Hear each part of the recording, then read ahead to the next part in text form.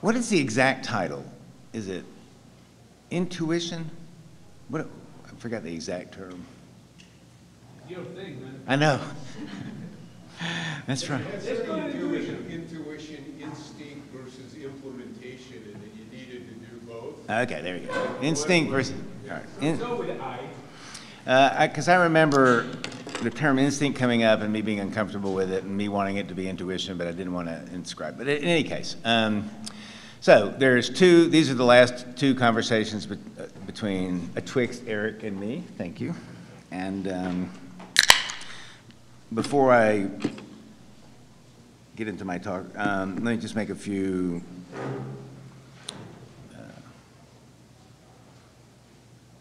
dumb comments about requirements for students, and that is, the same procedures will occur this term as last term. You will take, you will come to the two sessions. Um, In this particular term, you'll, ha- you have a book if you're signed up for the course for credit. You have a book to be reading, which you're reading right now.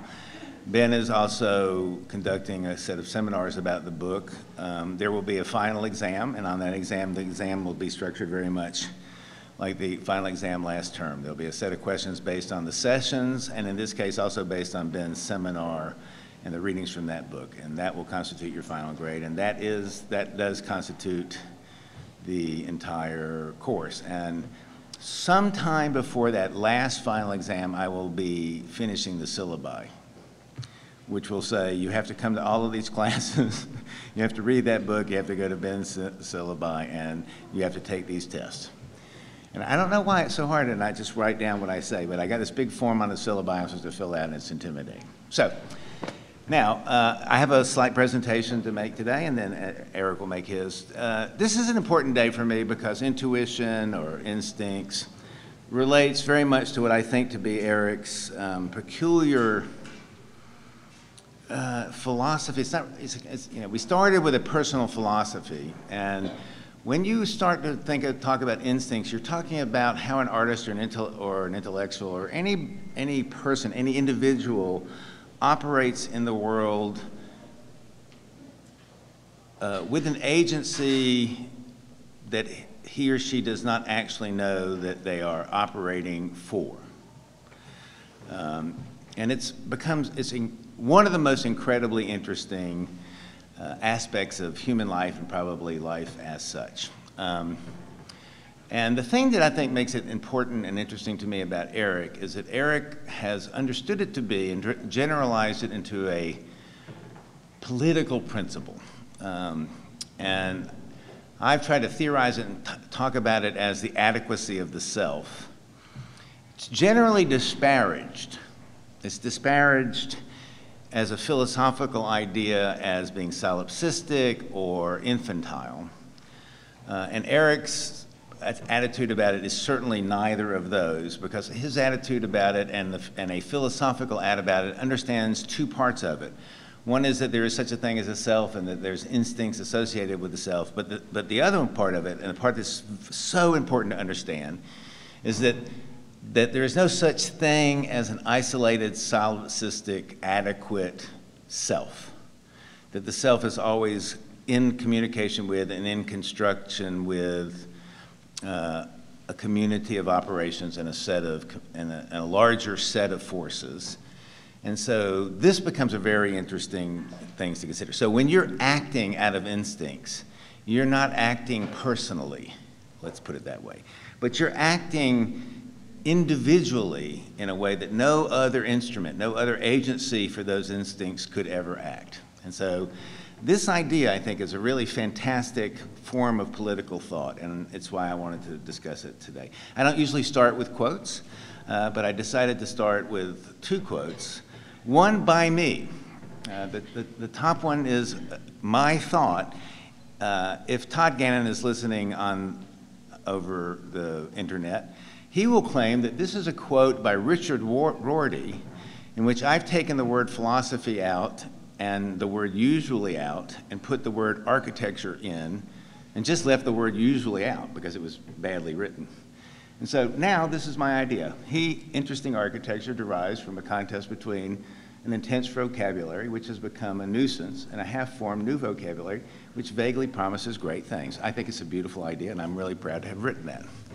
Um, and, and I will leave it to you to, under, to decide whether that's a kind of plagiarism or, because I do think it's a little bit of what we're going to be seeing today. The second quote is from Moss. Uh, it, is a really spectacular piece of philosophical thinking. Um, you'll know more about it in his talk. What I really like about these two is that they say a lot, almost the same thing. It has the kind of coming to the same point in the same way from very different points. These are two intuitional moments.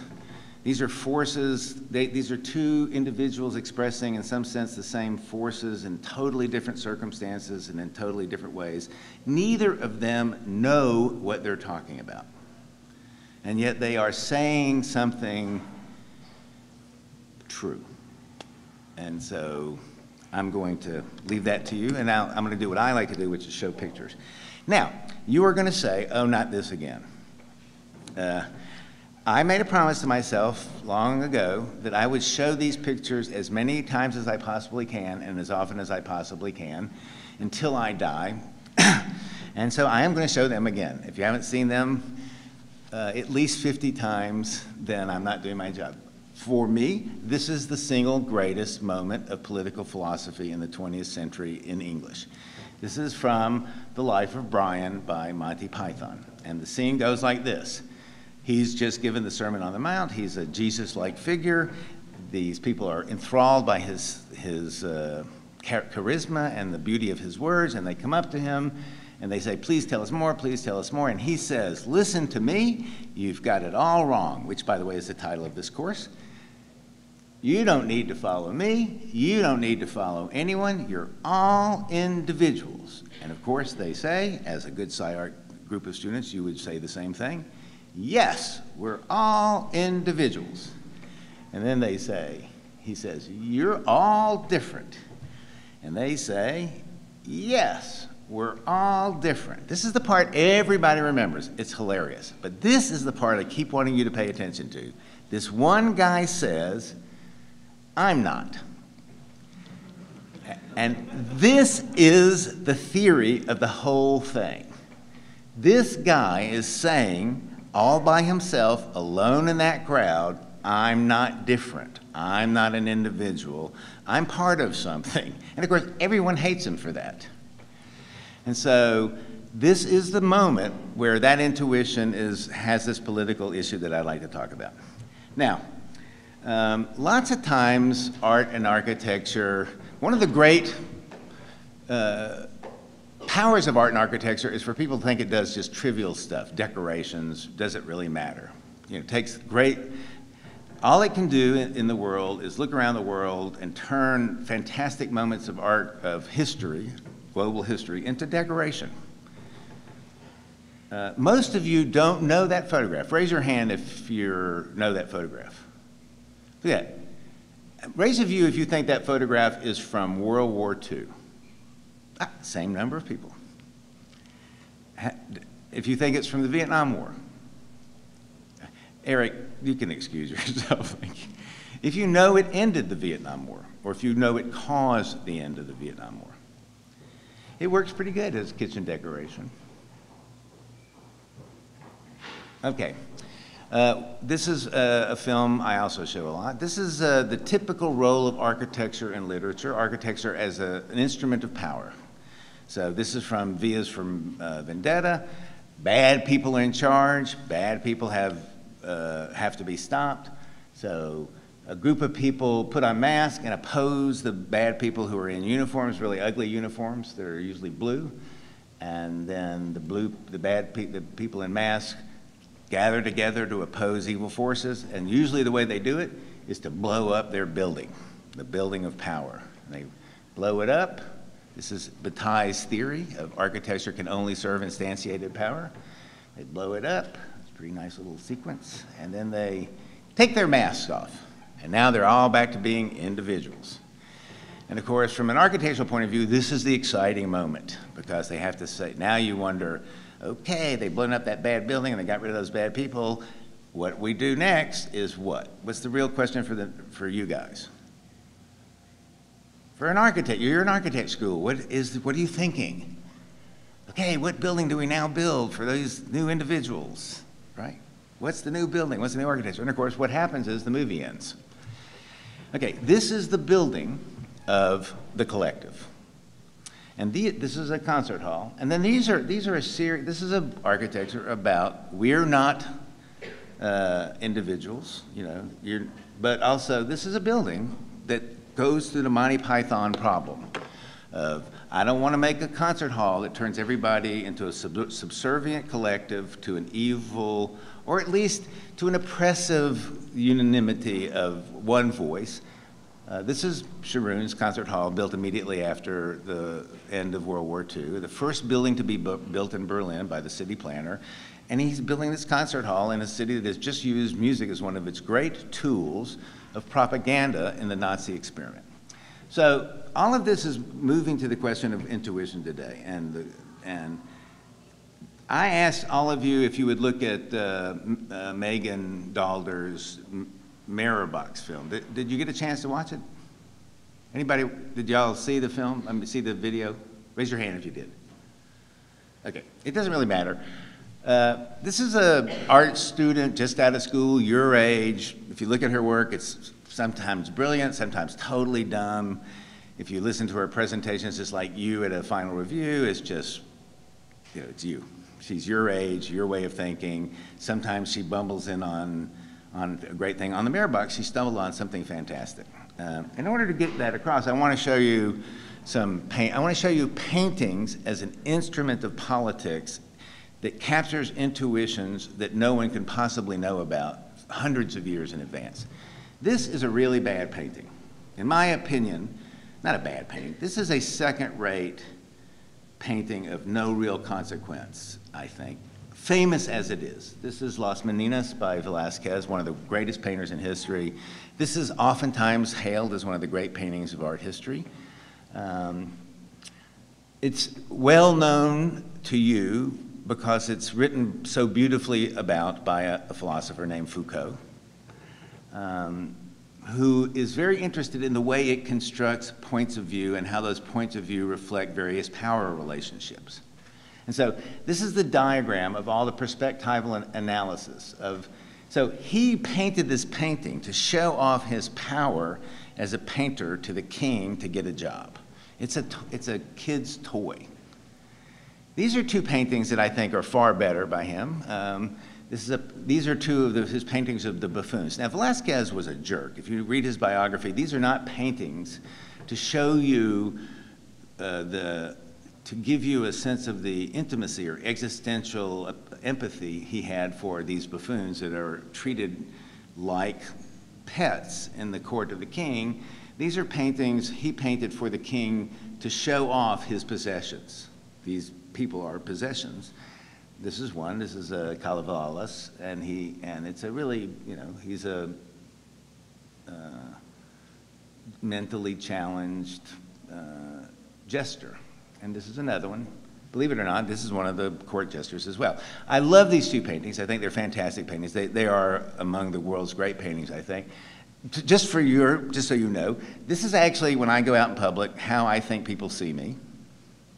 I really do think this is what they see, and this is when I go out in public. This is how I see myself. But, yeah, uh, I, it's true. And so this is if, uh, if you read the Foucault, this is the analysis of the existential points of view and the consequence of that. It's a very sophisticated piece of writing about a kind of goofy, not so great painting.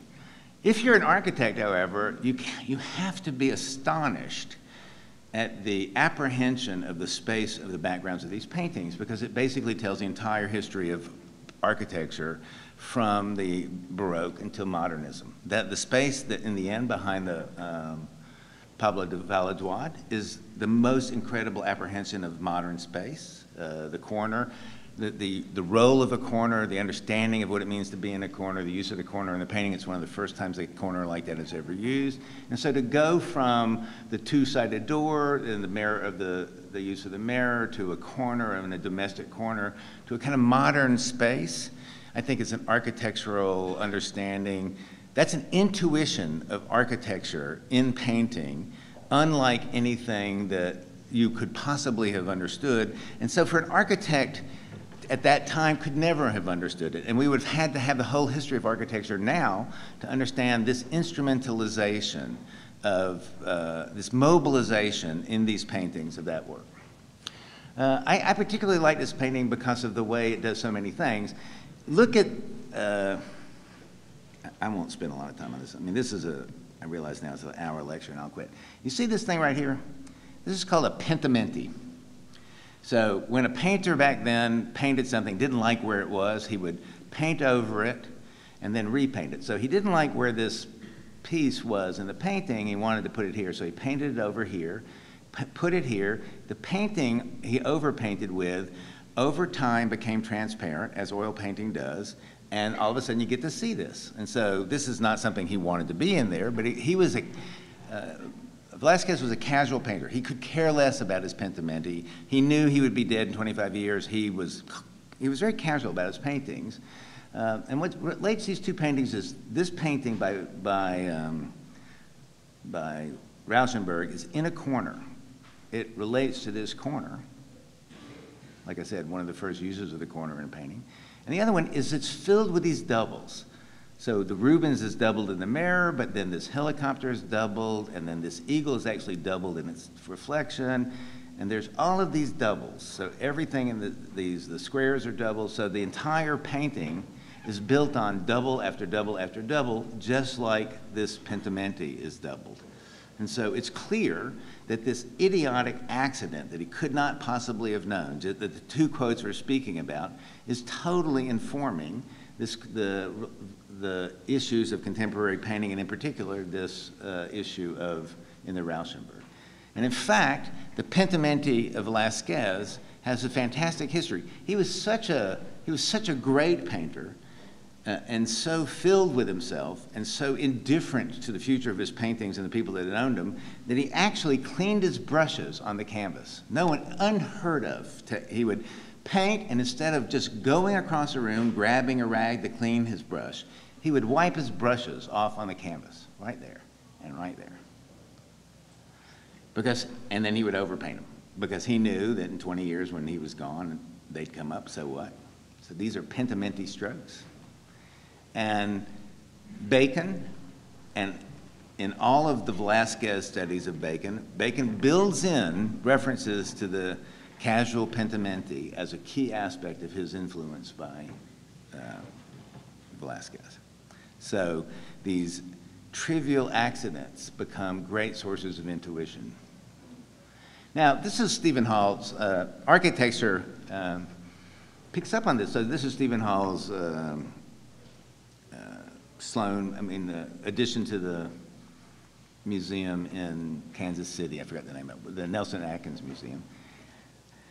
So you, you walk in the gallery, you come down the staircase, you see the de Kooning Woman 4 on the left there. So, you know, you see that, you see this painting, and then you, you, you see uh, the Robert Morris and the Donald Judd, and there's this ladder, and you're not sure is that ladder a work of art? I mean, all the doubling, everything is starting to, uh, you're not sure. Is that ladder a work of art, or is that case of lighting in the back a work of art? At this point, art is telling you that everything is art. You're a work of art. You don't, you're not sure yet where you stand as an individual, where you stand. How do you know yourself? You're trying to find out what you are. As you're in Peter, uh, as you're in um, Steve's building, you look through a painting of a window on the other side, which puts, makes the window on the other side of the painting, and you know the people on the other side are looking back at you. So the building is building all of these reflections of, it's doing exactly what the Velazquez does initially with everyone in the building in a work just like that. In fact, there I am taking a picture. You see that little lit thing? I'm about to walk down that gallery. I've taken a picture of that door. You've seen that door. There I am, you can see. Thin yet again, right there. And then, by the way, as I look at that ladder, right behind that ladder, there's Tracer. There's that painting I just got through showing you. Now with the, then I'm thinking about, you know, so I'm thinking about when I walk through this door, then whoever is standing there is actually looking at me there in relationship to the de Kooning, just like one of those paintings. So th this mechanism of constantly reflecting who we are back and forth is an instrument of, it's a contemporary digital instrument of constructing these, uh, the same issue that Megan constructed. And it goes on in architecture as well. This picture from small, medium, large, and extra large is a picture about a lot. This is the librarian that goes with Rem Koolhaas. This is the picture of the librarian of the library, the small, medium, large library. This is OMA's uh, Bibliothèque Na- Grand Nationale competition entry. She, it doesn't say Cindy Sherman, doesn't say un, Untitled Library still. It's just, obviously, she's a library, librarian, and that's a library.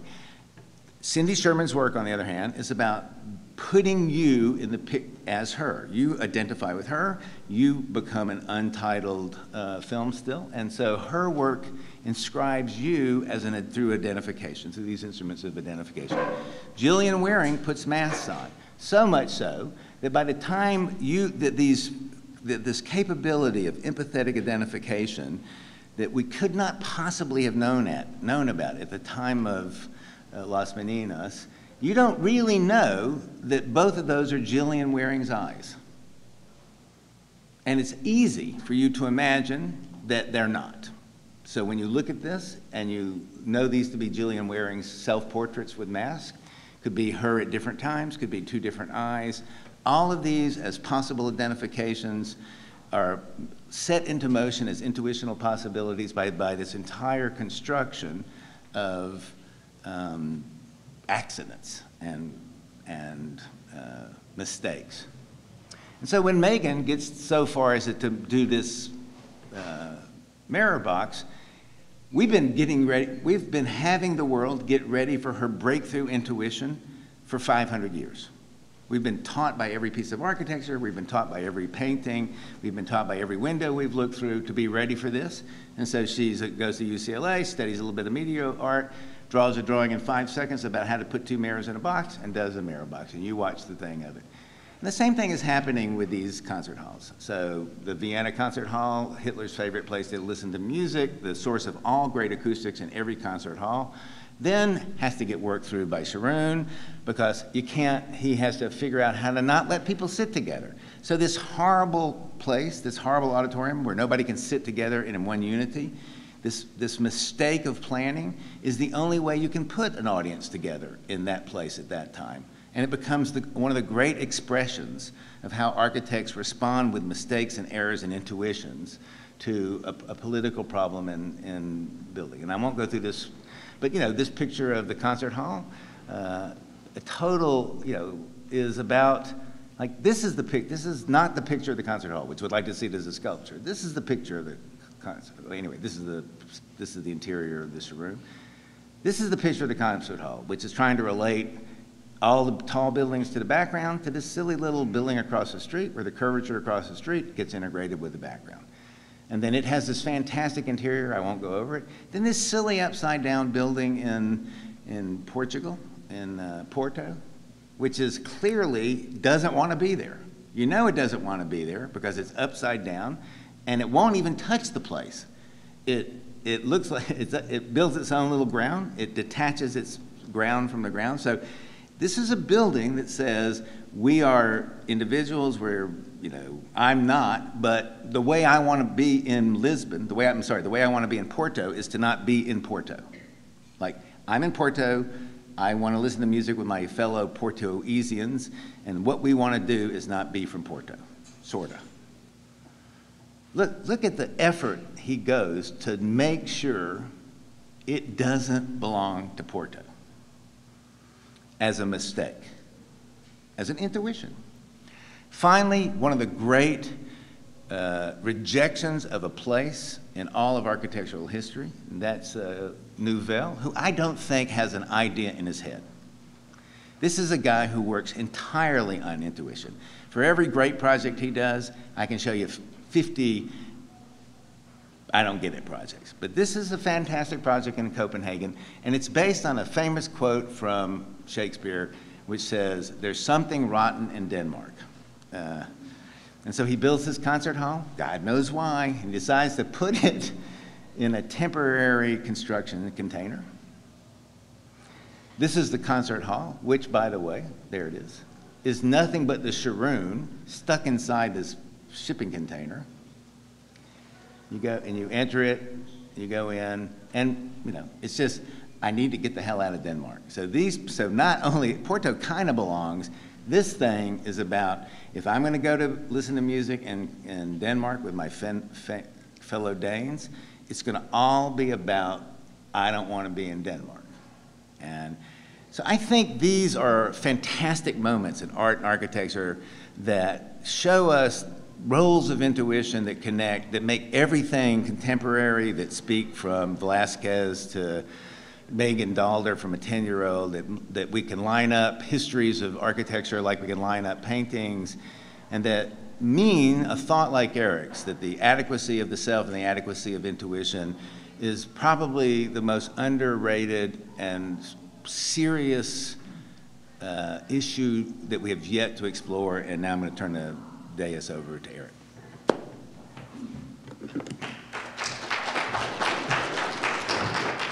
I think what you started out to do unravels the whole operational principle of the thing because it seems to me you're, you're, you're contradicting yourself if you say this is a proposition or a theory or a postulate that applies to everybody, like with this Sermon on the Mount business, and everyone shows up and says, Yes, this is me.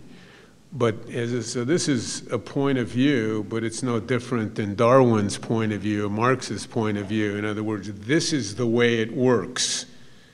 But I'm not saying anything like that. I'm not saying this is the way it works.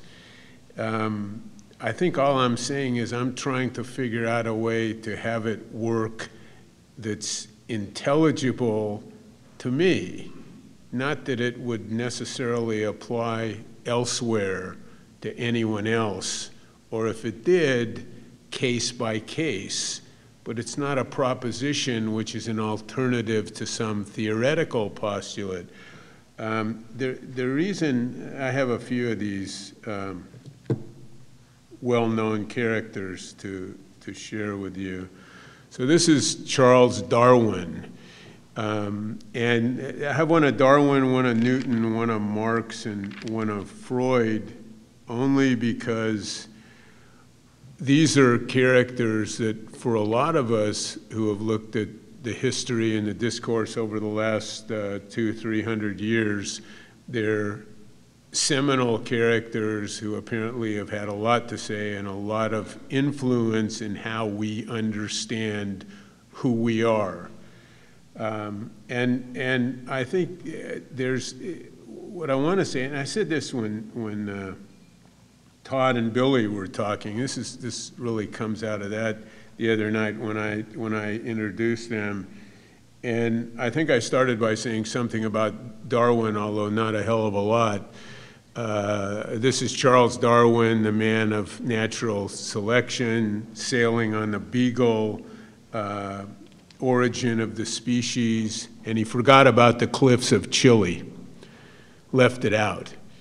And, and I think what these characters represent is they, they represent, I think, what we can call, and this might be the opposite of instinct or, or intuition, determinists in the sense that what they're looking for is a way that we can explain our world back to ourselves. And why are they there? And why are we listening? And if they're not there, what's the alternative? And I think if, if you stand on a beach and you look at the, at the sky, or you look at the sea, or you look at the beach, and what is it? It might be if Wolf shows up, a discussion of cities, too. What's a city? in a fundamental way. Why is it? Why do we need it? And I think, I think you might be able to make an argument that there isn't anything intrinsically so about any of these, except it's pretty vast. And we can't deal with vast. So we have to measure it, or subdivide it, or bisect it, or rule it, or quantify it, or qualify it in order to have something to talk about, and we can say this is the way it is. I think one of the points in, in Lucas, uh, uh, Lukic's uh, discussion is that there isn't anything which is extr- extrinsically so, that what we're claiming is so is never, it can't be disassociated from the people who are making the claim. I think my point is we need this stuff. We can't operate without it. We need the rules. So we need Darwin and we need Newton and we need Marx and we need Freud, who I think, if, if they deserve any credit, deserve credit as inventors, inventors, not discoverers and a discoverer would be someone who finds something which is durable and intrinsically so. And an inventor is someone who makes something up which is sufficiently plausible that after a while a number there are a number of, of believers and adherents and it lasts for a while until it starts to come apart again and then somebody else invents something else, which is why I said Darwin missed the cliffs of Chile. When Darwin sailed his boat next to the cliffs of, of Chile, so Darwin is a guy talking about natural selection, right? And increment by increment by increment over a long period of time. He sails by the cliffs of Chile and he looks up at this sort of mile high slice, uh, chasm, break, and that doesn't look geologically like something that happened increment by increment, and it isn't. It's something that belongs to a different causal. Nobody is clear exactly what that is, but a different cause or a different chronology or a different sequence. So it probably turns out that natural selection and bit by bit really doesn't explain everything. It may not explain anything. It may explain a few things. So, so inevitably, whatever is the hypothesis and whatever is the theory, it leaves, it leaves something essential out. Now, there's another character that, that, that we talked about a little bit in the first session. Uh, this Princeton guy called Immanuel Velikovsky, who had a different idea and his idea had to do with, for instance, a rock hits the Yucatan and all the dinosaurs die just like that. So it turns out, if that's so, that it has nothing to do with the survival of the fittest, the way you learned. Uh, it may have to do with the survival of the luckiest, which, depending whether you are in the Yucatan or the other side of the world, it's a different way of looking at how things move and it's also a very different way of disassociating the incredible adolescent allegiance to science as if it's an abstract series of principle, as opposed to understanding that it's not science, it's the science that belongs to the scientists. And the history of science, I think, is the history of positions that scientists have invented, not something which is intrinsically so, which is believable for all time. It's never like that, whatever is the religion, and certainly the architecture of the last hundred years, particularly the modern stuff. I think it's fair to say there was there is a modern architecture. Uh, if you're interested, it probably lasted from about 1920 to 1930, and that was the end of it. But the advocacy of science allegedly science-based technology, physics, machine equipment, and the image of that belongs to this kind of faith. It's no different than any other faith. in, in, in science as a discoverer of something which is intrinsically so. In other words, a rule-based system that we can rely on because we need it, because none of you guys can operate without that as a way of guiding what you do. So anyway, Darwin tried to help you, but he left out the cliffs of Chile. And, and Newton is another guy with gravity and, and, and uh, uh, cause, uh, cause and effect, all of that. Uh, and yeah, hang on a second. There was, there was a quote, uh, an interesting quote that I had from Kierkegaard, um, not so much an equity between cause and effect, but big cause, little effect, or little cause, big effect, so that there's not necessarily a balance in the position between, between uh, an impetus and, and a result. But it's a causal, causal way of, of, of looking and, and, and thinking and, and working. And it, it, it suggests, again, a, a, a stable, uh, harmonic, balanced model. And then um, this guy, who's, who's been part of, of lots of discussions, uh, uh, social and political and artistic discussions over the years. Uh, this is this is Marx. Um, the specter is is haunting Europe as as again a prognosticator. It's it's not so much. This is like a law, I guess. The thesis, antithesis, synthesis that he borrowed. This is a law. It's a historical law. This is the way history works. He tells us. So something arises, and then the antithesis arises, and then there's a reconciliation of the two. Thesis, antithesis, synthesis belongs to a sort of Hegelian uh, idea. And then it repeats itself. This was, this was the idea, except when communism comes, according to the theory, it doesn't repeat itself. Thesis, antithesis, synthesis, and then it ends in a hypothetical state. And then, of course, all of the revolutions that took place in the 20th century in Russia, in China, in Vietnam, in Cuba, and other places took place where there was uh, virtually no industrial proletariat. So you could make an argument that his critical analysis of a capitalist system, which belonged to the 19th century anyway, was worth reading and thinking about and understanding.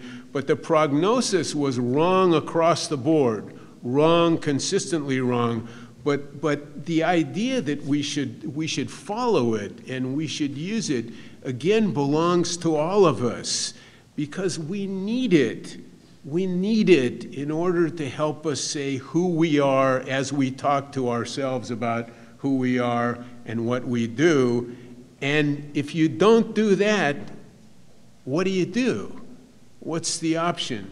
And this is Freud and the Oedipus complex and the Electra complex, and, and so you've heard all of that discussed and what belongs to males. And I think the joke with uh, Todd and Billy was that he left out Prozac. There's, all, of course, always something, not that Prozac solves much of anything either. but all of these characters rep represent a way of, of applying a methodological hypothesis to the world we're in, giving it priorities, giving it a way of understanding, giving it a system, giving it something you can count on, giving it a way of depending on a structure which exists outside of you.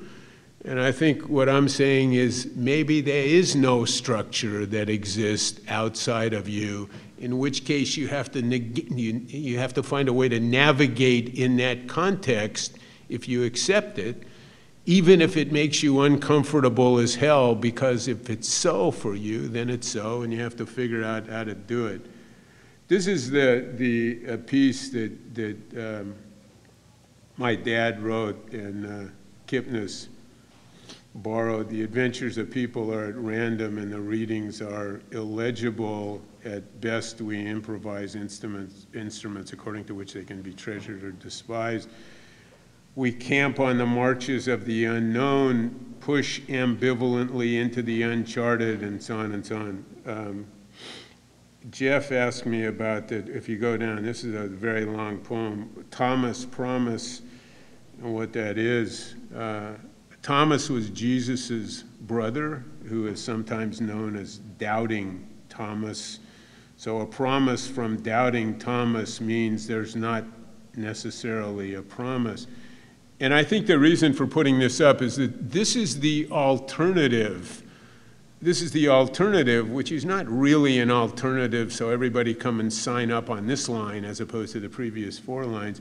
But this, this suggests a way of working which doesn't guarantee much of anything, or a way of thinking about what you might do and why without any warranty that a certain result will be forthcoming. I mean, the Oedipus complex predicts a result, and cause and effect predicts, uh, predicts a result. Um, and, and the Communist Manifesto predicts a result. And this predicts no result and doesn't warranty anything except to make the effort because that's what's available to you.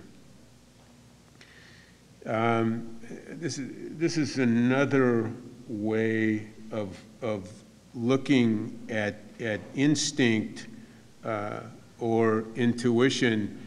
And there's a term that I, I've used a few times um, to try to talk about this um, called the dialectical lyric.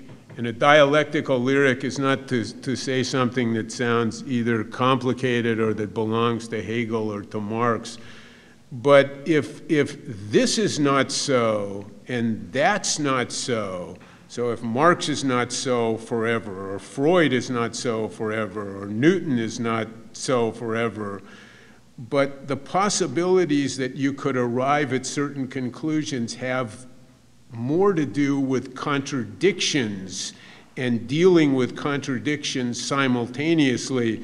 For instance, if you could deal with natural selection and gradualism and catastrophism simultaneously, which in a literal sense, in a, in a conventional scientific sense, seem to contradict each other, but conceivably could operate together, could coalesce because everything doesn't have to fit into the pro forma. Everything has to fit into Marx, everything has to fit into Freud, everything has to fit into Newton, everything has to fit into Darwin. In, in a dialectical lyric, it doesn't work that way. This is another rendition of that, which, which I always like. And I think it suggests the limits of reason, that, that there, there are intuitions or instincts or sensibilities that reach, outreach reason if you can get there. And you can't always call up the case by virtue of the logic that you want to apply to it. And this is, this is a line I used uh, several times. And this is not to disparage again someone who is clinically a schizophrenic. I don't, I don't mean it that way. But I think, I think the, to, to return to the question, which was the original question that has to do with both an intuition or an instinct, which is obligatory in making a radical piece of architecture, and then an implementation capacity which needs a different set of tools in other words, one is to imagine it, whatever that means, and two is to imagine a way to implement what you imagined. And the first, whatever it belongs to, intuition, instinct, the second actually brings you into a world in a more extroverted way, in a tactical way, in a mechanical way, in a technical way, in order to realize what you originally imagined. They're very different skills, actually. Very different, very different skills, very different personality. And I think, I think I would argue to, to make radical architecture, you have to be capable of doing both of those things. Both, both to, to imagine it in a private way, wherever it comes from, and then to implement it in the world, on the street, in a technical, tactical, in some cases, political way. So this, this goes back a, a, a long way to, to this project, which originally belonged to the uh, uh, Salonen and, and, and uh, Fleischmann in the, in the Green Umbrella uh, project. And the Green Umbrella series was, was a series at the LA Phil that produced only experimental music. So we began to do the project with, with the LA Phil. And these are the, these are the original sketches. And then comes something which, which I think uh, people who build things will understand is a fascinating par paradox that the freer are the instincts for imagining or making in a contradictory way, in a paradoxical way, the more rigorous and the more demanding are the tools that are required, a kind of excruciating tool. If you imagine something is very free, and then you have to build literally something which manifests that freedom and the technical tools to do it and to think about it, I think in an intellectual way, are contradictory to the kinds of instincts that imagined it to begin with. This is, this is a long story. I've, I've shared it here in different ways on, on uh, a number of occasions when we, when we started out to bend the glass and ultimately found somebody in, in San Pedro uh, who could bend it, and, and, and we were told you can't do it, and you can't laminate it, and it'll crack, and it'll fall, and it'll leak, and you'll be sued, and all of that. And, and as I've said, and it's true, all of those things happened. It did crack, it did break, it did leak, we couldn't draw it, and we did get sued. Um, all, all, of those, all of those things, which are sort of ancillary propositions, it's one thing to stand up here and say that. It's another thing to sort of deal with depositions and subpoenas. How that fits into this discussion is probably a different story. But you can see in, in, in the image on the left where we, we were trying to do a number of things. We ultimately came up with something which is more like a kiln and actually sandwich the glass and, and uh, but we went through a whole series of experiments and, and, and uh, uh, construction episodes and, and things breaking and, and, and falling down. Um, and this is really not so much to, to tell a story which is either dramatic or melodramatic. It's always different telling a story in retrospect when the result is known and it actually came, in, came out all right and they built the building and everybody um, went off uh, holding hands and kissing goodnight. But at the time that you're working on it, you don't actually know. And you don't know where it's going to go, and you don't know whether it'll fail or whether, or, or whether it'll succeed. And I think that tension, that tension in terms of the, in terms of the prospect that it might work and it might fail, and I think that's where you have to go. That's where you have to go in order to do this, and then you have to deal with the consequences, and then working various ways to, to implement what was the original conceptual uh, vision of the thing and, and, and so on. And then there, there are a few of these. I won't go through all, uh, in, in, in all of the detail, but there's, there's an interesting question for me of, of complexity. There's a lot of discussion around here and other places about what actually constitutes complexity. What does it mean? And you, know, you see students that the more that the more exotic, the more unrecognizable, the more the more complex in, in form and shape and and space, the more is achieved. Uh, so I'm not sure any of that is so, but this is an example.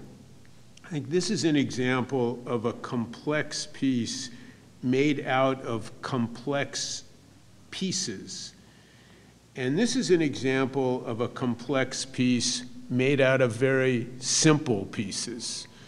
So that, so that the, the aspiration might be the same, but the tools to make them are, are very different.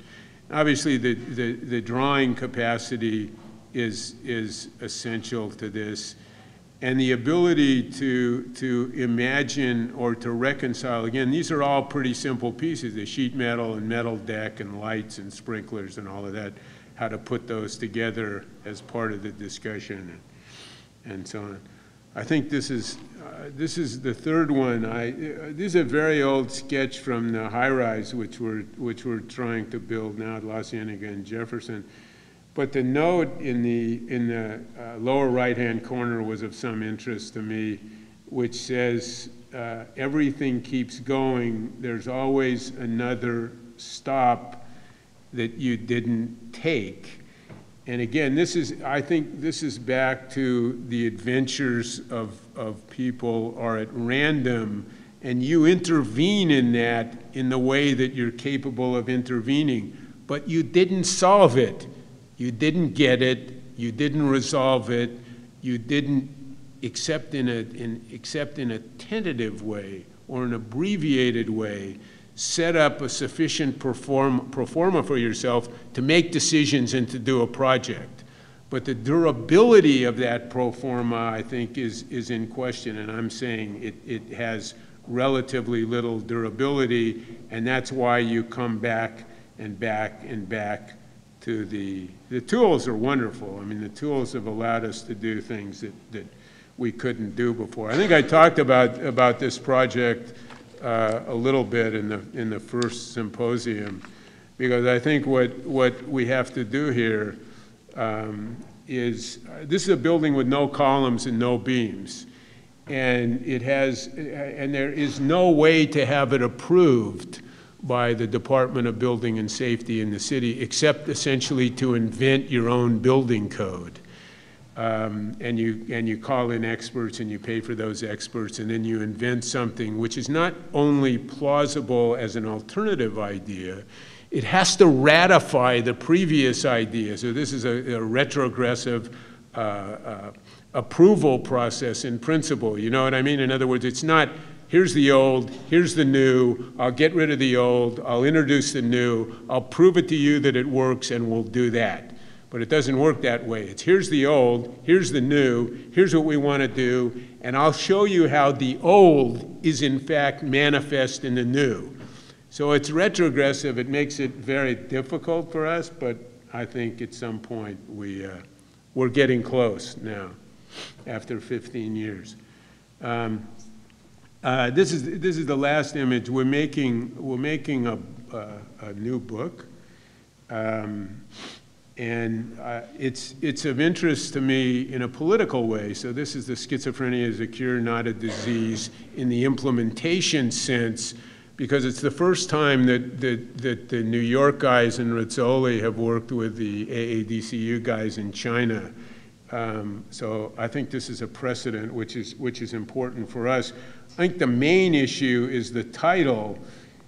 It's not I'll believe it when I see it, which means I'll believe it when I see it. Prove it to me, I'm a scientist, and I'll accept it. It's the alternative. I'll see it when I believe it. I'll tell you it's so, and that'll make it so. Thank you very much.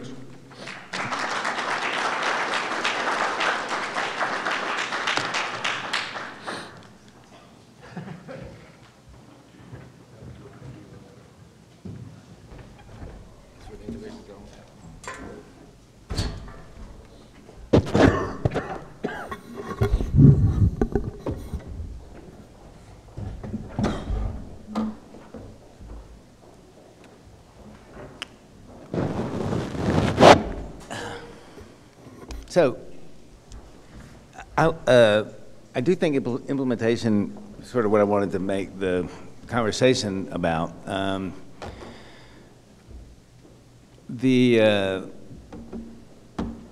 I, I know no one in this audience. There's going to be a few people in this audience that are just going to cringe when I'm about to say this. But I was actually trying to work on this uh, text for the thesis book, and I've been I, I try to know, first I wanted to write a text about what a thesis was. In the end, I'm trying to figure out what happens at SCI-Arc and what happened during thesis and all that sort of stuff. And at one point, I was trying to think, what is SCI-Arc? Why is it such an incredible place? Why do I love it so much? And one thing for sure is it's not a place where we teach what you should do as architects. It may happen, that there are little enclaves of people that do that. You know, uh, certainly Anna. Um, But it's not a place where the school has that uh, self, sense of itself as a responsibility. I started to wonder if it's a place where maybe in the long run, it's just a place we teach what you can do. Um, But then that's not enough because I realize you can't really formulate the project of what you can do unless you know sort of what you want to do. I mean, it's kind of what you're talking about, right? You can't explore what you can do in architecture unless you have a narrative of some sort of what you want to do. So you can't just sit around and invent techniques uh, or teach techniques or teach every structural possibility or every material possibility as if you could walk out of this school or walk out of any school with a full repertoire of current control over all the adventures that are materially possible in your discipline and get ready for your intuitions. You could, you could teach that, you could do that. Like a military academy, you know, shoot this gun, fly this plane, sail this submarine. Yeah, but let me You ask you. could do that. Because I think, for example, one of the, one of the fingerprints or one of the hallmarks of modernity is to recognize the potential of incompetence. You know, to realize that bad, a moment of bad construction or a moment of bad painting or a, or a bad, a missed chord or a wrong note or a bad detail in the right hands could, became a real potential. And so incompetence in the right hands uh, was able to imbue uh, expertise with an entirely new repertoire. That's what I'm saying is, military, they kind of have to hit the target, whereas in art and architecture, every time you do something and you produce a new set of competence, there's a whole new repertoire of incompetence. So I'm not so sure, you know, like, I, I, I was telling someone this morning that they, they're having a do, DIY stuff, you know, they're teaching a DIY studio, and I'm saying, listen, te- first thing you do is tell them not to clean the site. Like, if you really wanted to give the, the right aesthetic, make sure they leave all the crap on the ground. You know, that, that would be the right view of stuff. So I'm not sure uh, that you're right. I'm sure you could teach control ever form. The reason I'm doing this, I want to not, answer. I'm not saying we should do that. Well, I- I'm saying one could do that. If one could do that, maybe I think we, one might consider In fact. I mean, I think many schools do that, not only Really? architecture schools, I don't- law schools. I mean, you need know, you need to know this, you need to know this, you need to know Well, this. what you need to know and what you can't, like, I'm asking you, for example, and I, and I've was- been looking at Wolf's work, like, if you line up Wolf's work, it's all about not just what leap he could take, but what leap he thinks he could make. You know, like, right now with the bondage building, or whatever you're now calling it, you're, you're taking, a- you've taken a few leaps that you've had a general sense you could make. I don't know any cases where you failed to make the leap. This is a case, this is a cla- case you, are there? Are there any cases? I mean, that's a- quite a list. Um, But how do you know, like, when you have Well, but that's, the that's the point. I, I think what I was saying is when you're sitting there and the glass is raining down on your head, and at that point, you don't, I mean, there's confidence, there's conviction, there's uh, whatever it is, we can figure it out. Um, So I think it presupposes competence, conviction, stick-to-itiveness, but I don't think there's any warranty on any of those things. Otherwise, we would have built the Mexico City Library and the Mariinsky and the Queens Museum and all the things you listed. So you we don't think could- you could have built the Ma- Marins- Mariinsky?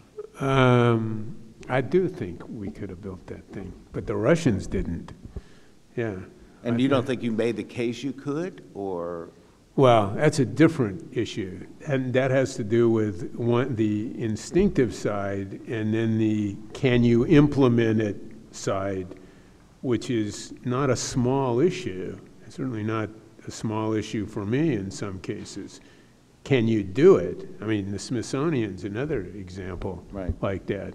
I think we, I mean, we walked in a room with half of Europe from London and New York rattled up, said, you can't do it. Well, can't do it. Can't pay for it and it'll fall down. Can't pay for it is a different kind of. Well, if the, if the uh, donor is sitting in the room, okay, But then there was the, uh, I mean, I'm just, I- this is, I won't waste a lot of time. This- There was this wonderful moment where you thought the spring and, uh, in, where was that? oh, the Mariinsky thing? No, no, no, the spring and, uh, Oh, Kazakhstan. that you thought was going to actually help with Yeah, earthquakes, and it turned yeah. out to make it worse. No, we brought Guy into that. Yeah, that. so you had a the spring, you thought it was to damp the discussion. earthquakes? Well, I think your point was where the hell did that come from? Yeah. We were talking about a project we had, we had proposed in a, a competition. Suha's coming here, Suha ran it in, in, Yeah. a Turkish guy ran it in Kazakhstan. It's a big. He's coming here? company, and Yeah, he's coming to visit, um, which was never, which was never built. And we proposed a solution which was a kind of attenuated spring. And the argument was that it allowed the project, it is a huge earthquake zone, just a little bit, a little bit west of Xinjiang province in, in China. So all, that whole area is, is, is a seismic zone, so had this, this uh, uh, spring. And uh, so Guy was, was, was the engineer, and he, he came, came in a room and he said, Moss, what the hell are you doing? You do that, and it'll wind up in China. So, uh, but, so, but we used it in the end, actually, in, in a more attenuated way and damped it down. And it, it gave a, a, a form language to the project which nominally was related to, to dealing with seismic issues, but whether that's really the origin or just, you know, maybe a little bit disingenuously. Yeah, but a lot of stuff shows up in your work that uh, feels intuitive in a, in a, Well, you have to, you in- have to, in you a have to find a way. way, in a political sense, you, you also have to find a way, to some extent, particularly in these competitions, to camouflage some of the aspiration. So if there's an interest in whatever the poetics are of spring structures, um, that probably wouldn't satisfy, I can't remember who was on the jury, but Suha? I was supposed to be. Who's that other, yeah, you, if you'd have shown up, Sorkin, who's that, the the other guy that teaches in Angewandte? Lisa's, uh, uh, anyway, he was, he was there, Hani Rashid. yeah, right. Um, And, uh, Yeah, I was supposed to go yeah, where the hell were you? on the tarmac in Chicago for four days. But you pocketed the dinero anyway, No, I Uh. didn't get, I was, I, it was, it cost me thirty-two thousand dollars to miss Yeah. that thing. right? Well, maybe we'll do it again. But, but I, but I do think Yeah, the, please. the, um, when, when I was, I'm not sure I explained this very well, I'm not sure I understand it very well, but the schizophrenia meant that, that there are two very different aspects to making unusual architecture. And if you're drawing them, I don't know who is it, Lebbeus, or Erich Mendelsohn or somebody drawing things and then going to the Potsdam and trying to build them, and you don't know how to build it, you can't do it. So how to build it means a political side, and it means a technical side, and it means an extroverted side, whereas the imaginative side is more introverted.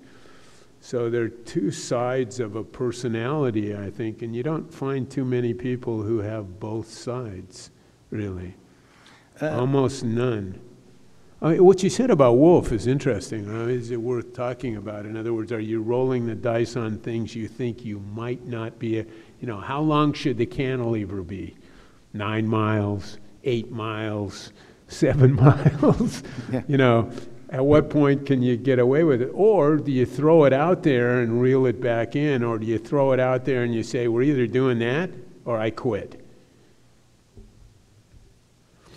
Um, you, then, then another issue, and that is, uh, and I appreciate what you're saying about me. Uh, if, if I theorize a general structure of indivi- individual intuition, um, it defeats the point in a certain sense. And That's it- what, I think that's what I was saying. I think you tried to no, I'm, I'm turn uh, the exception into a rule. Well, I, what I'm trying to say is that that what is structured is exceptionality. Uh, But, but it being structured doesn't turn it into commonality. And, Well, not everybody will do it.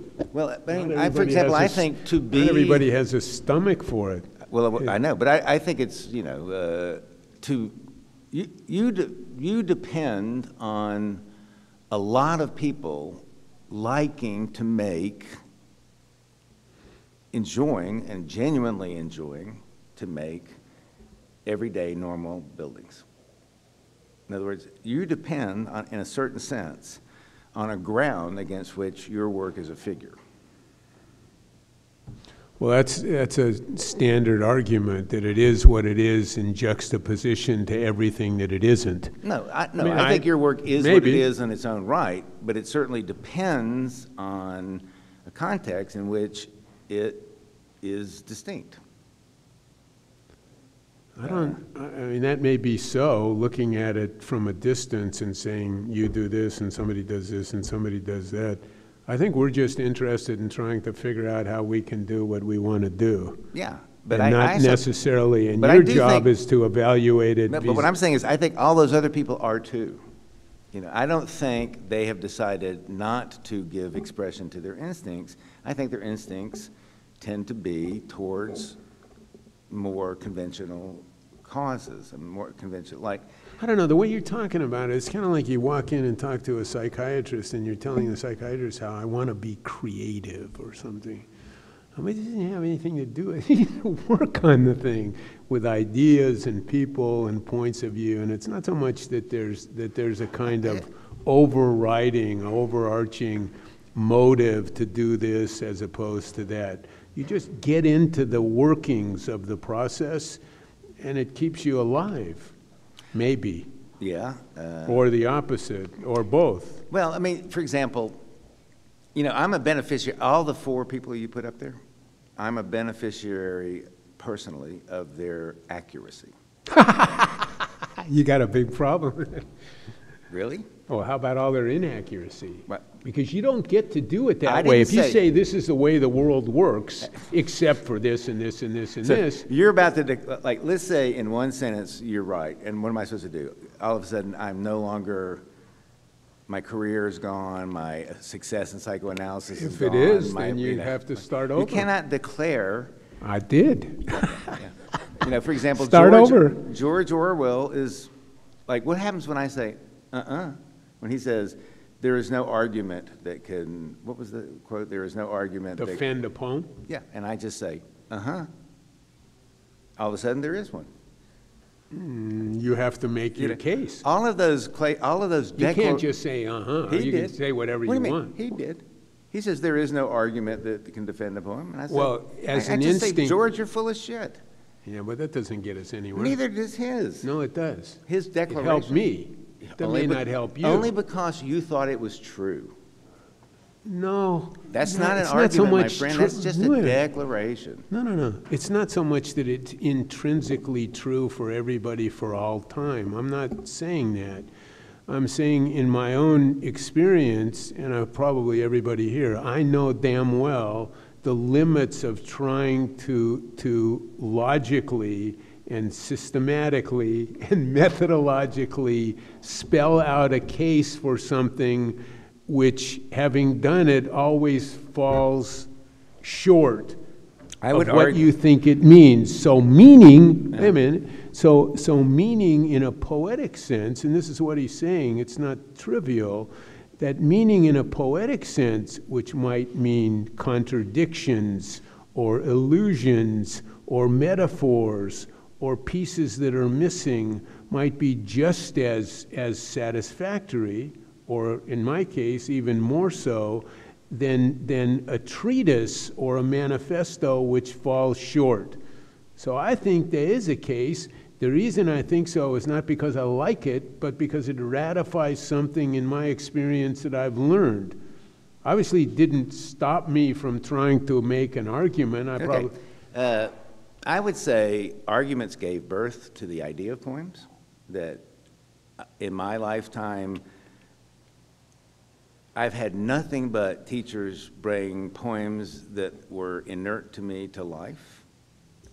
What do you mean by? I mean, I would, I read J. Alfred Prufrock, thought it was the sad, really sad. I had no, I didn't, you know, and then someone had a teacher teach it to me. I didn't realize how funny it was and how hilarious it was. how- Yeah, and I think I do that for paintings. I think today, I don't know if you like the paintings I showed, I thought I made arguments that uh, did that, exactly what Orwell said you cannot do for a poem, for a series of paintings today, in a very short period of time. I don't think, I think you, you, you're reading it like a rule, because you need a rule. I There mean, nobody, no- nobody has When I see, when you, when that thing says, there is no argument that can defend a poem, Yeah, sounds like a rule to me. no, because, because, it- because you hear what you've gotten hear. used, no, you hear what you've gotten used to listening Well, for. Then tell me what it should say. And you don't want it to say know how to listen, no, well, let me finish. Okay. You don't know how to listen for what you haven't heard yet. So that means when you have a conversation, you actually already know what's coming back, Well, which is not a like it means- conversation. I hate when people don't like the poems I like.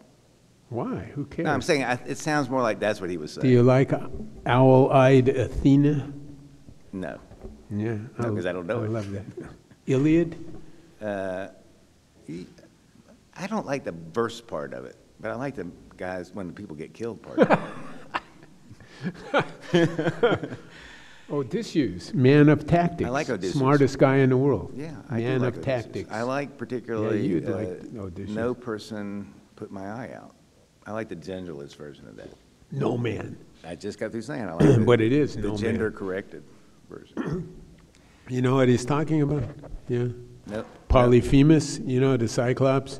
So Odysseus is locked in a cave and uh, with his guys. With one eye, guy with one eye. And Polyphemus says, "What's your name?" So Odysseus is already because he's the smartest guy in the world, the man of tactics. So he's trying to to figure out how he can put this guy. He has a whole plan. So he says, "My name is whatever it is. My name is No Name or No Man, No Man. whatever."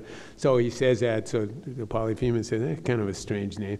And then they figure out and they put his eye out and they sneak out of the cave. And then Polyphemus comes out of the cave and he's yelling to all the other Cyclopses, "You have to come and help me. Somebody did so and so."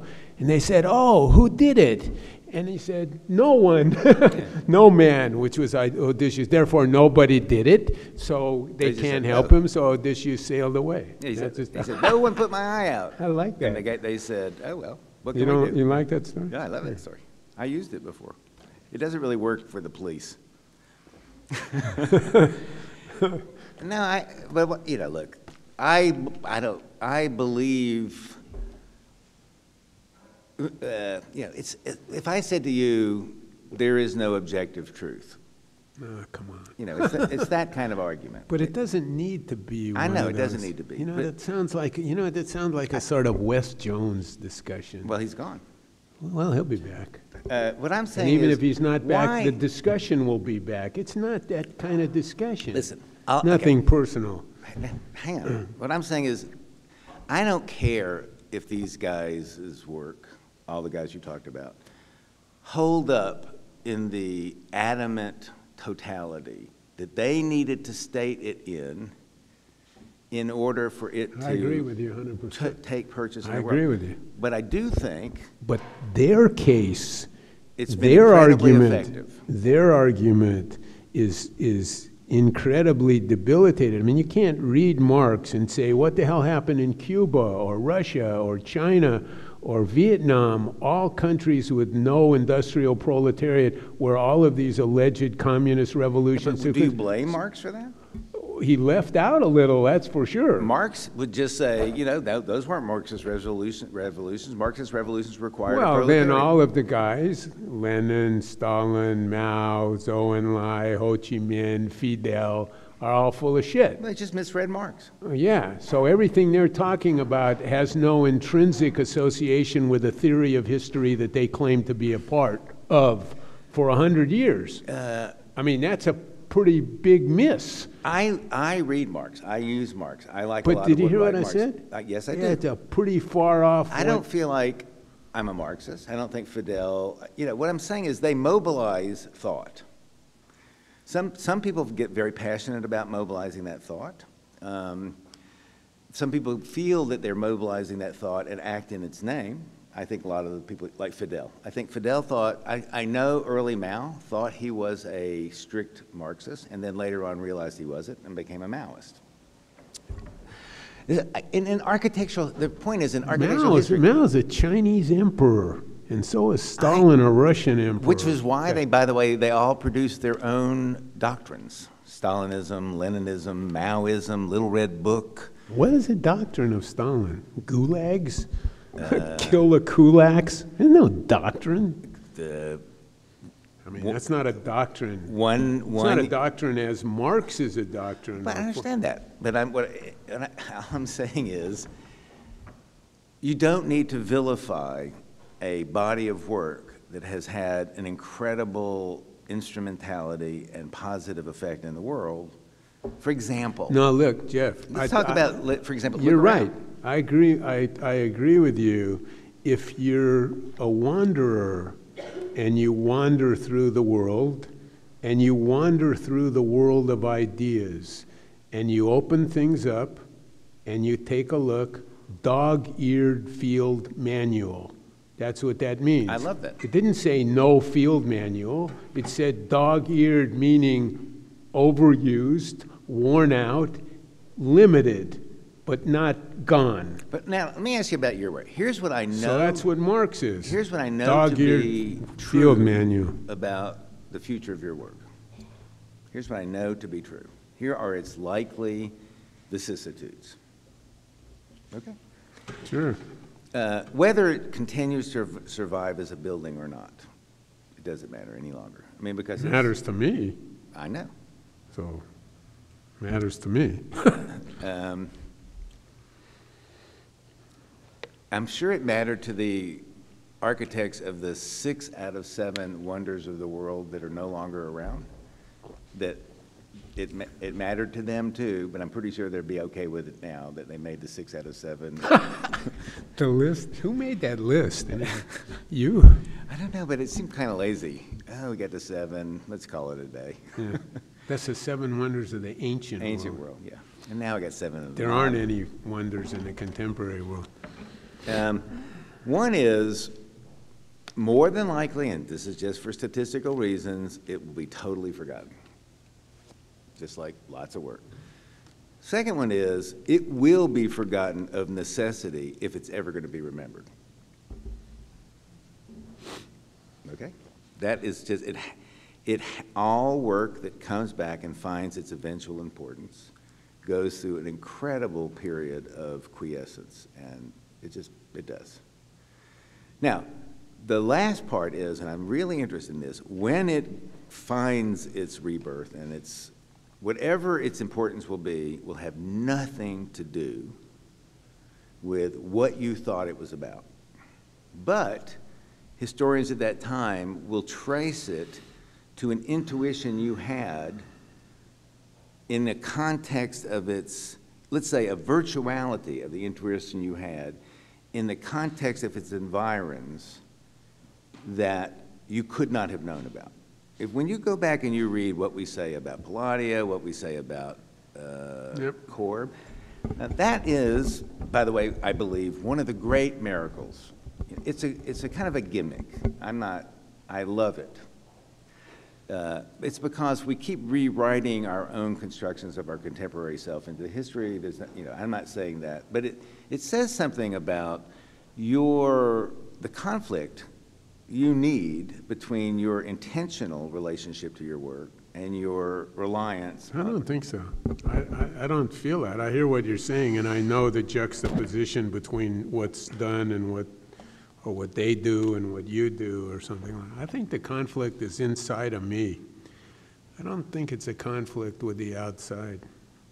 I mean, it may manifest itself that way. And, and as far as the, this, this uh, business with how history treats whatever it, whatever it treats. You know, Lukács uh, made that comment that an 18th century character looking at the Himalayas sees a different mountain range than the 21st Sure. okay, so they can see whatever they see. Um, And I can't do much about that, and I can make the case the way I make the case in the way I do it and implement it. And then there's, there's an old um, line, I, I remember using this to introduce uh, somebody or other, but I think it came from Giedion, and somebody said it didn't come from Giedion, so then I said, this is one of your comments, shoulda come from Giedion. That what, what, what an architect does is there's a river, not the river Styx, Mm-hmm. okay, but maybe it's the river Styx, and it's flowing out of the past into the future. This is the river. And, and the only thing an architect can do is drop something into that river. That's it. No more, no less. Mm-hmm. It sails, it sinks, it comes back. That's what you do. So you drop into the river and then let's see where it sails. Fine. Okay, but those are two different things. There's the, what No, is your so work different about? than what you said. No, no. I For- agree with like. You and Peter, there are architects that are all about that, that river. And there, and there are people like Wolf. I don't know how your conversation went with Wolf. Wolf believes. We didn't, we didn't do it. We're gonna try to do it, but we didn't do it so far. What happened? I don't know, he was arrested or something. I don't know. Missed a plane, you know. Arrested Development or? Yeah, that- No, he, he'll, Wolf- don't worry about Wolf, he's fine. Wolf is, uh, the two of you were the last two architects I came to want to know the work, and are the two architects I've come to thank my lucky stars I came to know. But you're very different. You know, Wolf's conviction in the experience, in the existential consequence of the direct experience of the bu- building on one person at a time is so paramount, it's hard to, it just seems almost silly. Say that again? He, you know, he believes that what the fa, the space feels like, when you go in, the experience of a building, and the, and that what the ability of that, that to transform over time the ex- existential milieu of a city is, that's, he believes it. And that, I mean, it, its relationship to his time in Vienna, right after Hitler and through, and because of the Baroque, uh, allegiance between the Baroque and the church and the Baroque and the imperial empire. I mean, Vienna is just a tough place for an architect to grow up. And Vienna in the late 60s must have just been hell. You know, when you, and when you realize, for him to come through that, to be not taught history at all in school, to be taught that architecture was nothing but a technical enterprise, and to have to study history in a coffee club at night with Feuerstein, to have Hollein being the only person to act out and all that sort of stuff. I mean, so he really does believe that the building and the city is something that can make people feel free. And I don't really think he cares about the- his place, the place of his buildings in history. I mean, everybody does, but I, I honestly don't think so. Uh, Whereas all the other friends I have, I don't know about that. I mean, this is I, I don't remember having that discussion quite in that way. I mean, he, he- I mean, it's too bad he's not here. He's better at this than, than we are speaking for him. But, but there are always discussions about open as opposed to closed. yeah, open, And, and the question is, is open an ideogram? In other words, what's open to which? Is it the building that's open, or is it the inhabitant of the building which is opened as a consequence of the building? I don't know. I mean, I, I, think there, there are a lot of very optimistic possibilities Yeah, in that. seem- And then it might have something to do with if this is, if this is a religious conversion and now you're open and that allows you to see what you didn't see before. Uh, It's definitely at a, at a non-intellectual level, whereas your architecture wants to work in partials, I would say, never to be decoded, but to be working in partials at every, at many levels. Intuitionally, affectively, intellectually, but always at, at many different, in, in, you know what I mean, in partials. That There's never some final unfolding of it, but there's a constant agitation, it may, at, at, at uh, indeterminism, like a great poem. Like you, there is never going to be an adjudication. Well, it's it. like that little note, you never, you keep digging, you never get to the bottom. So if you could, if you could make something that was um, infinitely rewarding or inexhaustible, you know, like the light coming from the door of the law in Kafka, you know? The light shines from under the door and the light never goes out, you know? Yeah, I know. Um, Yeah, so that would be good. You guys got any questions? Let's do that. Build that. Okay, hang on. Uh, you. Yeah. Got any thoughts or comments? What's it like to sit there? I, I, it's, it's unfair to me because I like to know what it's like to sit there. Yeah, go ahead. Who are you talking to? Just whoever, I wanted to go back to the river analogy right here. Um, take me to the river. yeah, take me to the river. Um, so I'm trying to get my head around the idea that whoever said that is talking about something that he's, what I'm seeing is not what he's not doing. Because if he's making that point that you drop a stick in the river and all you can do is float down it, well, he's, It wasn't a stick, Uh, it's a building. A building. I said the river sticks. that's a river Oh, that goes okay, to okay, hell. yeah, yeah, yeah.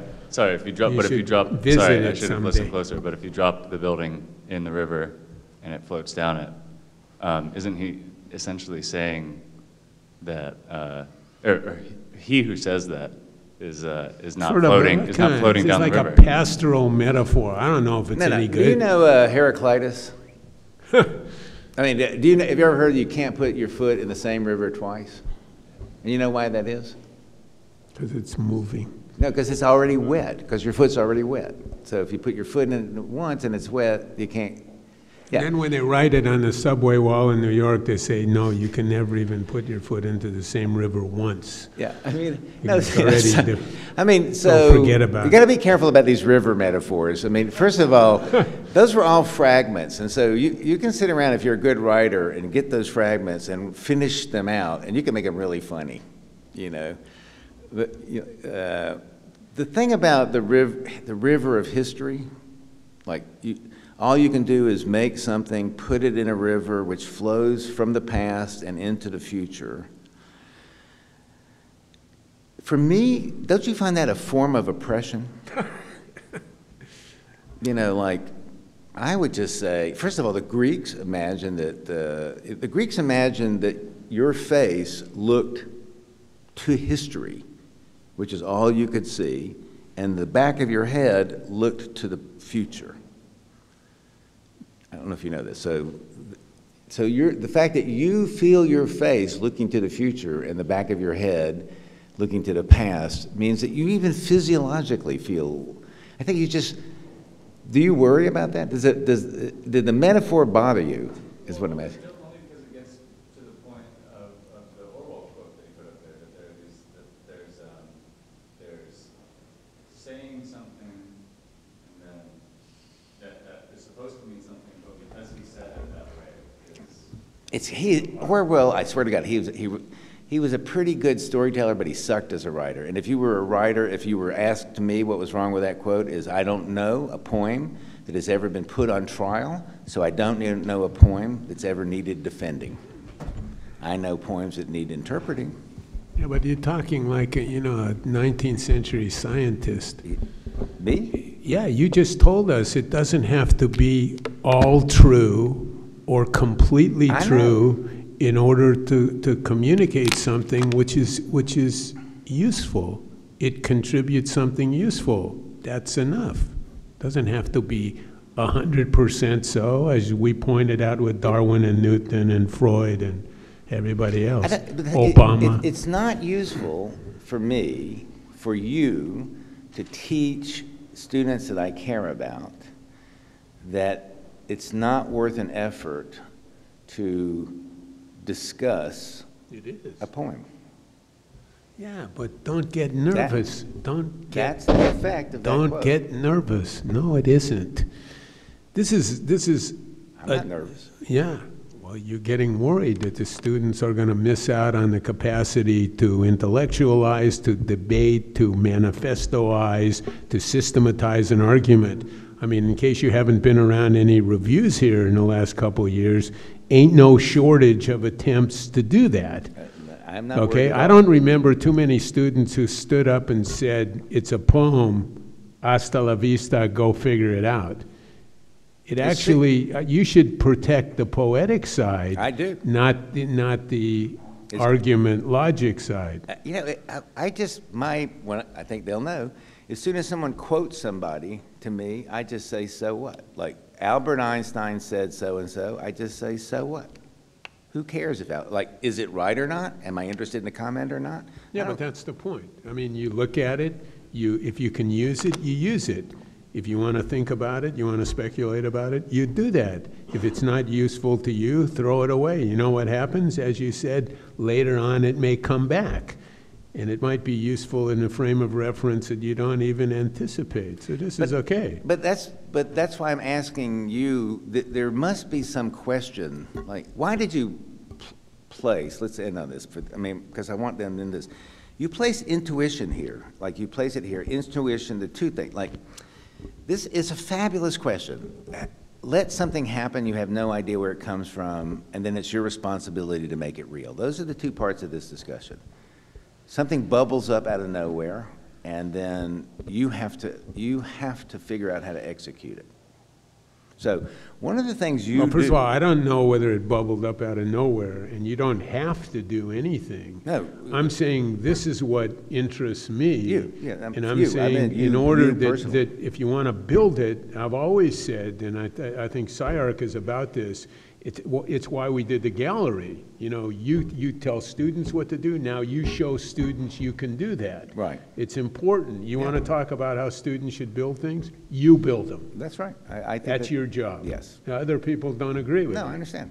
Um, You know, to let something come to mind and then to listen to it, that's not, and first of all, it's not an easy discipline to learn. That's not an easy freedom to give yourself. You- So I think that's a fantastic, you're right about that. You know, you're mostly taught not to do that. uh, Or not, You have to trust yourself. yeah, but you also have to feel some value in it. You have to, you, you're Yeah. subject to the immediate comment that it's irresponsible and self-indulgent, and the more. Yeah, but who- Who cares, I know. I mean, uh, who said that? What, I mean, if somebody wants to make a case that it's whatever you said, it's self-indulgent or it's narcissistic or what, I, I mean, I don't know that any of that is intrinsically so, or that any of these ideas wouldn't, in a broader definitional sense, deal with a whole series of banal and prosaic and operational and organizational questions, all pursuant to making a building.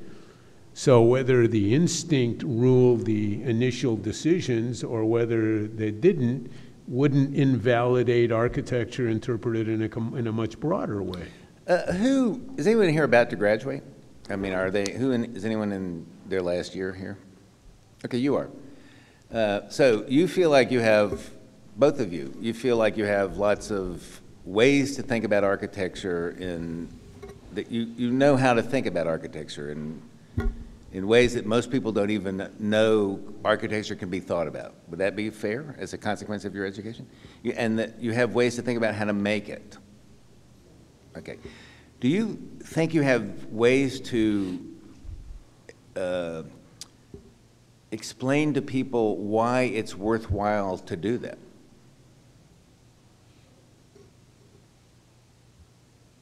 I mean,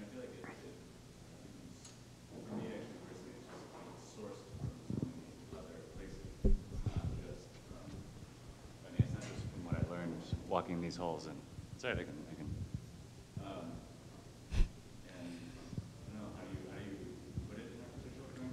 Well, in other words, let's say it, it'll happen that the more public you go and the more idiosyncratic your proposals are, the more, the more often you're going to hear, particularly in the world you're about to enter, that they're uh, self-indulgent. I, I've just got through reading all the crit- criticism of Wolf's building in, uh, and you'll, re- I'm writing a small piece for it in Artforum. Um, uh, uh, The building in the Musée de Confluence that's just opened in Lyon. And it's incredible how, whether it's in praise or in condemnation, how inept the commentary is. But my, all the negative commentary is on that, you know, it's an, it wants to be another Bilbao, it's another piece of self-indulgent, this and that. I mean, just, you know, it- it- you know, and so you're going to face it. If Any idiosync, with the more idiosyncrasy, the more likelihood, you're not even going to get a chance to answer the problem. But I mean, just, bec- and your But you have to, you have to decide, uh, what are you telling him? Are you No, I'm just him asking what- you, do you feel? But all of this, all of this, I mean, there are, there are people who are arguing for, for uh, Santorum and Romney and all kinds of. I know, but Wolf has a- characters. Wolf So why don't, a- why don't you just tell him he needs to make an evaluation? He needs to decide what level of criticism is valid No, or but- argument, and let him go make the argument No, and not what I'm worry saying is, about. Wolf has a very clear sense of his project. When he's asked, he says it by a journalist. You can read, he responds, and when he's asked, he says it. Doesn't as the the journalists never particularly or change their mind, but they put it in what he says. I mean, he knows at any level he's being discussed. As an expert level, he speaks in expert terms at a very, at a public, level, and so does Eric. I mean, they, they know how to discuss their work.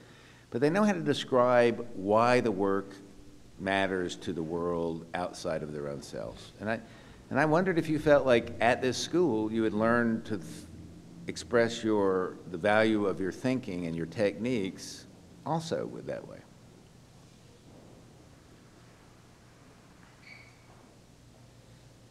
Wouldn't that be part of? Yeah, it should be. It's not, or very little. I mean, I, th- I think students, students are used to describing work in a context, well, you've been involved with this. You have a lot to do with the definition of what's plausible criteria for validating a project. You're part of that. Yeah, but The of the- world you're referring to and the kinds of criticism and evaluatory aspects of, of work is a very different world, and presenting the content of a project in that world to that constituency is a hell of a lot different than it is to talk about work here. If the argument is that people should learn to make projects, you know, it's like we were talking the other day about, remember we were talking about the HR guy? And the HR guy, the SC and the business school and all of that stuff, and that, that he was, this is a guy that we were looking at, at hiring for, for uh, a staff position, and among other achievements in his uh, career, he was working at the dental school at USC with a lot of dentists or upcoming dentists who were great at dentistry, but didn't know how to, to open an office and write a contract and, and talk to clients and things like that. And, and we got into a discussion about whether or not SCI-Arc, it's, it's, it's a little bit the sort of pro-practice discussion. Nakazawa was good at Oh, yeah, that. And yeah. Nakazawa was super good at that. And whether, I mean, this is a, a little bit different discussion, whether SCI-Arc puts students in a position to talk in a more pragmatic, prosaic, ban- banal about subjects that are not really the essence of the subject as they define it internally, but might very well be the essence of a subject as the world would define it externally, and to what extent do you pay attention to those subjects when you're presenting a project? And do we do that? And the answer is we probably could do better, and we don't do much of that. Well, all, I- uh, in, in closing, all I just wanted to say was for you to put this as the third of our talks is to put something on the table that I think is incredibly, not risky, but incredibly, I don't know what the word is. It honors the students and the school in a way I just wanted to point out, and that is, it's one thing for us to know a whole lot of uh, counterintuitive projects of architecture that we know are, that we know have been thought about, worked out, you know, why architecture could effectively improve a certain situation by not responding to the context. For example. So we, we know that. We know that. We know when to respond to the context. We know when not to respond to the context. We know how to do both. We know when, it- when a context, we know when it's a precinct. We know all sorts of ways, because these intuitive, I mean, we know traditional ways and we know ca- counter-traditional ways.